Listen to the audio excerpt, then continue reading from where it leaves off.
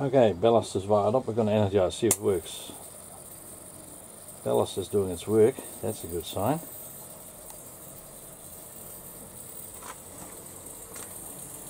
Also in the flickering mode.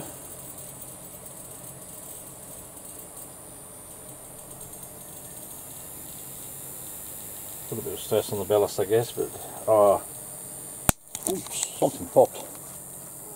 That sounded scary. Oh no, wait, that's the connector block. Be a couple of kV there.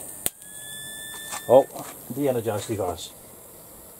The igniter, I'll just let it go. The igniter failed.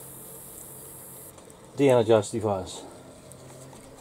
Oh, that's interesting. That got stressed out too much. well, in the name of science, you need to try things out. Popped a hole. Ooh.